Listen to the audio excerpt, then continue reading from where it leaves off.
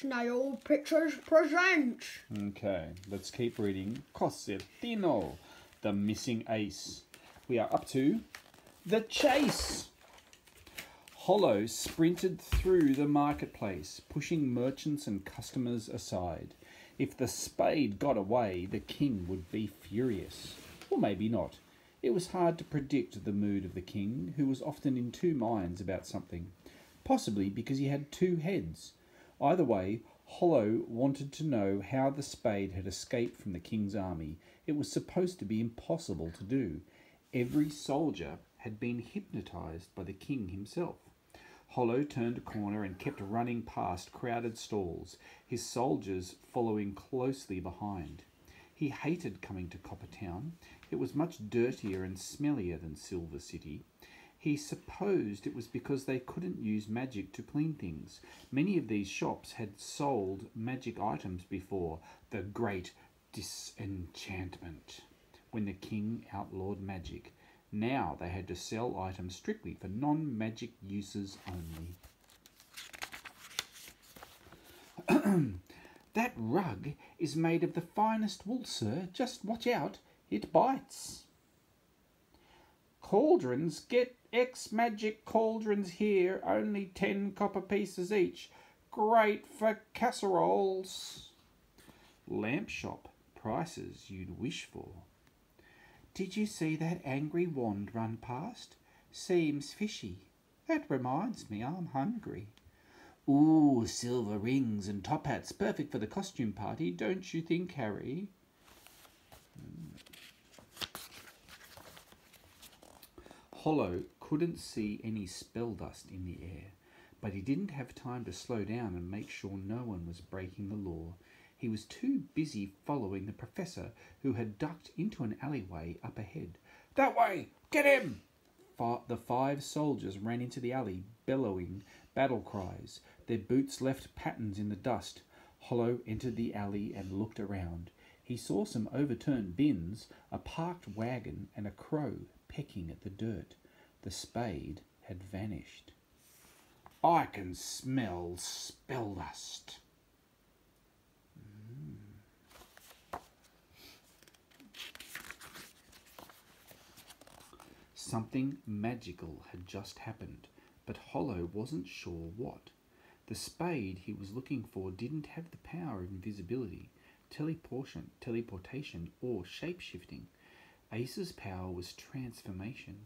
He could turn creatures and objects into other things for short periods for a short period of time. And yet he was gone. Hollow kicked at the dust, grinding his teeth. This wasn't over. What do we do, boss? one of the soldiers asked. The, that magician knew something, Hollow said. I'm going to find out what. Shark Tank. Ladies and gentlemen, Coz said to the Copperpot Theatre audience, this will be my last illusion tonight, possibly ever, since it's very dangerous. I could be badly injured or even killed. He paused to let the word, words sink in. The theatre was close to full. By banning magic, the king had made illusions more popular than ever. People came from all over Coppertown to watch Coz's shows. A young woman in a grey cloak sat two rows back from the front. Her face shadowed by a hood, Coz could only see her wide blue eyes. He winked at her. So, he said, if you don't want to see me die, now is your chance to leave. No one left the room. You're all happy to watch me die, Coz said. Okay then, good to know. Nervous laughter echoed through the theatre. Coz hadn't wanted to perform the snake escape tonight, not after he and Ace had nearly died in the snake pit this morning, but Ace had given him the chance to perform a different stunt. Coz had asked him to change a big wooden crate into a glass walled box. Ace had also transformed three of the snakes into sharks. Hmm? Ace Soldier in the Army of 52. Silver Castle, Silver City. Abilities Transformation. The spade seemed very kind, which, had ex- which explained how he had escaped from the king's army. The king's hypnosis only worked on people who were cruel or selfish or cowardly. Ace had a clear conscience, so he had been able to run away. Cos walked over to the big glass box, which was covered by a red sheet. He pulled the sheet off. The audience gasped.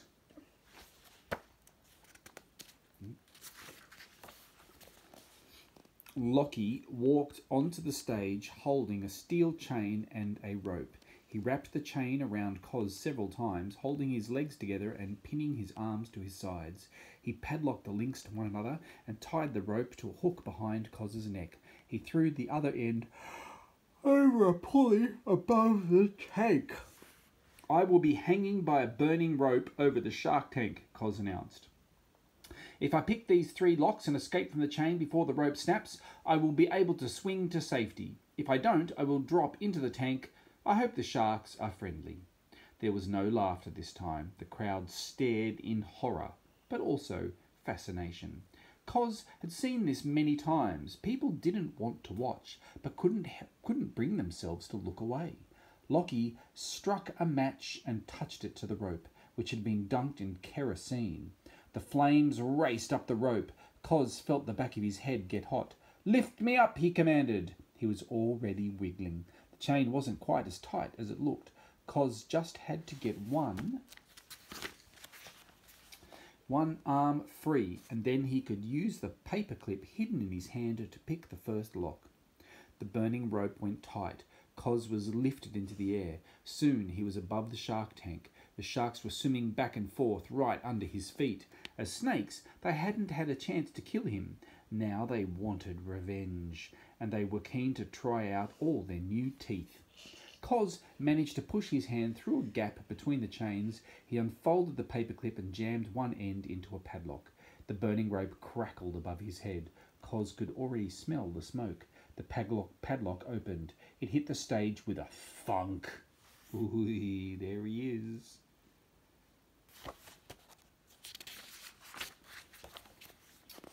Now that the chain was looser, Cos could get his whole, arm free. He wriggled around until he found the second padlock and started picking it. The fire was getting hotter. The rope was coming apart. Stray fibers rained down around him, fizzing and hissing as they hit the water below. Ka-chunk! The second padlock was unlocked. Only one to go. No! The paperclip slipped out of Cos's hand. There was a small splash as it hit the water. Someone in the audience screamed, which set off someone else. Ooh, ah, eek!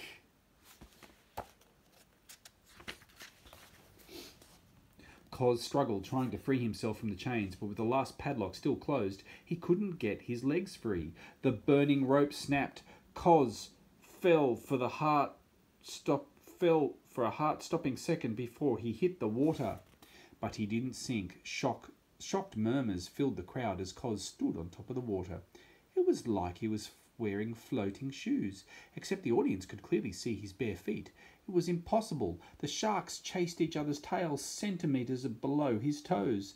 The audience exploded into applause. Cheers and shrieks filled the, the theatre.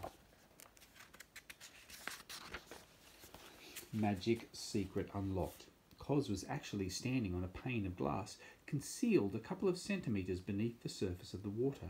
There was a spare paperclip in his mouth, which he used to pick the last lock and unwind the chain. Cos took a bow. There was an invisible hole in the glass floor just in front of him. He dropped the chain through the hole so the audience could watch it sink. The sharks nibbled at the chain. The clapping got even louder. Cosentino! a voice shouted. Cos shielded his eyes from the stage lights. Hollow was striding down the aisle, flanked by two soldiers. The audience fell silent. When the king's army came to Coppertown, it always meant trouble. The woman in the hooded cloak looked especially worried. Cos wondered what she had to hide. So nice to see you again, Mr. Mr. Hello, Cos said. It's hollow. The magic wand snapped. He pointed at Cos, who still appeared to be floating on top of the water. Arrest that man! Then everything happened at once. The crowd scrambled out of their seats as the soldiers barreled down the aisle towards Cos, who did a backflip off the shark tank and landed on the stage. Lockie sprinted towards the tank with an axe. They always kept an axe handy in case a water escape went wrong. Run, Cos, he cried. Then he slammed the axe into the tank. The glass shattered. Screams filled the air as water poured off the stage and onto the seats.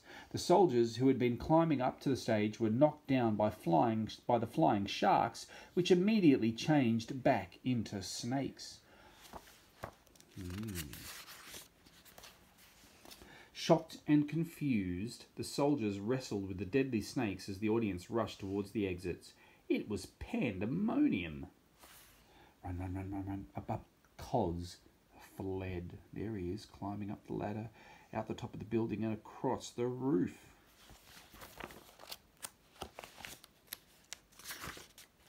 Soon, Cos was standing at the edge of the rooftop of his theatre. He couldn't see any soldiers. They must all be inside, looking for him. If he could get down to street level, he could lure the soldiers away before they found Ace hiding in the attic and the illegal spell book. If Hollow saw that, Cos was doomed. He would spend the rest of his life in the arcade. It was too far to jump. The fall would kill him instantly. Magic secret unlocked. Cos had once been a human fly, a performer who climbed tall buildings without any equipment. Cos had drilled invisible finger holes in the walls of his theatre so he could perform this trick. He crouched down, looking for the first row of finger holes. If he couldn't find them, he would be able to climb. If he could find them, he would be able to climb down to safety. Freeze in the name of the king! Hollow yelled as he emerged out of the rooftop trapdoor, puffing. Cos spotted the finger holes. He reached down. Then Hollow hit him with a blast of magic, and the whole world went black. Silver City. Cos woke up inside a horse drawn carriage. His head was spinning. Hollow had hit him with a lot of magic, the sort, sort which could stop a person's heart or fry their brains. Cos was lucky to be alive. The carriage doors were bolted from the outside, so Cos couldn't pick the locks. The windows were barred. He thought about trying to kick through the floor and escape onto the road, but he would probably be crushed by the wheels. Magic crackled outside, and the wheels of the carriage began to lift off the ground. The carriage rose higher and higher, glistening spell dust swirling around it. Cos peered out the window and could see Silver City up ahead, an enormous box floating in the clouds. The whole city was inside the box, connected to the ground only by a thin ladder of hovering steps. The walls of the box were mirrored, so the city seemed to go on forever. Once Cos was inside, there would be no escape. Two guards stood outside the gates, making sure no Coppertown residents could sneak in. They saluted Hollow as he drove the carriage into Silver City. Inside the gates, the streets were paved with silver. Magic lights shone from behind the windows of huge houses. Cos couldn't help but marvel at the floating objects and dazzling lights. Seeing magic, real magic, made him feel like a little boy again. The world seemed full of wonder. Anything was possible. The royal palace was a silver tower surrounded by mists. Gargoyles jutted out from the edges of the roof. One of them turned to watch as the carriage approached. Cos felt like it was looking right at him. Well, you're stuffed, said a voice from inside the Cos's fedora. Snuggles, I forgot you were in there. The rabbit popped her head out. Flakes of lettuce were stuck to her fluffy chin. Cos had no idea how she had smuggled food in there without him knowing. Obviously, Smuggles said, I know you're headed towards certain death, but did you really have to take me with you? Cos scratched her behind the ears. Sorry, Snuggles, don't worry. I'm a magician. I'll get us out of here. Or out of this. Snuggles looked doubtful. Uh-oh. Well, if the king decides to burn you alive or drown you or bury you, make sure you're not wearing the hat. She disappeared back into the darkness of Cos's hat. Thanks for your support, Snuggles, Cos grumbled, but she was right. He didn't have a plan, and he was running out of time to create one. The carriage rolled up the driveway, which was pebbled with tiny nuggets of silver, towards the palace. When it crossed the drawbridge and stopped, Hollow opened the carriage door. Out! But of course, Cos beamed as though it had been a polite request and climbed out. Hollow pushed Cos through a set of big double doors, past several armed guards, and up five flights of stairs. Eventually, Hollow opened another door, and Cos found himself in a huge chamber. Candles burned in chandeliers high overhead. The floor was checkered like a chessboard. The lords and ladies of Magicland were dressed in puffy silk clothes and sparkling jewellery. Because magic was legal here, they could conjure up whatever clothes or possessions they wanted, so long as they didn't try to outshine the king. They all had perfect teeth thanks to magical dentistry, and glowing skin thanks to magical moisturiser. When they saw Cos with his bare feet and plain trousers, the lords and ladies backed away as though he'd had an infectious disease. A waiter walked past carrying a platter of fruits and pastries. Cos took an apple and tucked it into his sleeve so quickly that no one saw him do it. A huge rabbit, easily twice as big as Cos, was standing right beside the king. The king himself was seated on an enormous silver throne. The stories were true. The king had two heads, one beneath the other. Neither of them looked pleased to see Cos.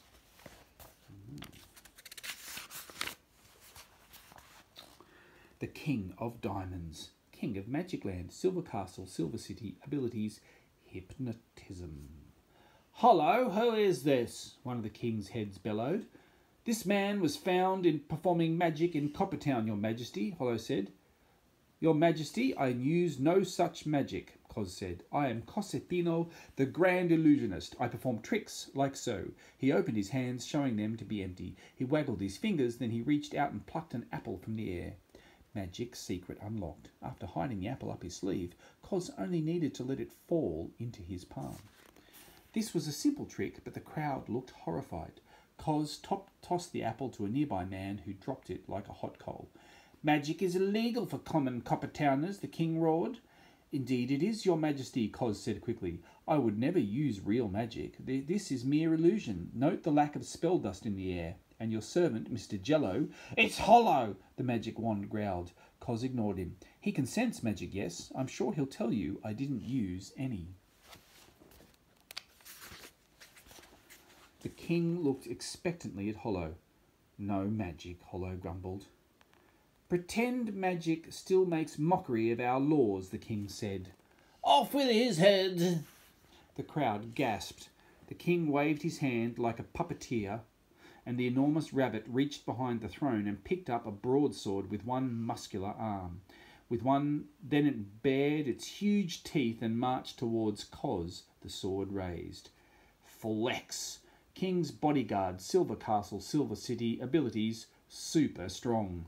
Cos backed away, his heart racing. It looked like the king had hypnotized the giant rabbit. He could control anyone with even a drop of evil in their heart. Cos wouldn't be able to talk the rabbit out of killing him. The king made a chopping motion with one hand. The rabbit swung the sword. There it is. How is Cosentino going to escape from that?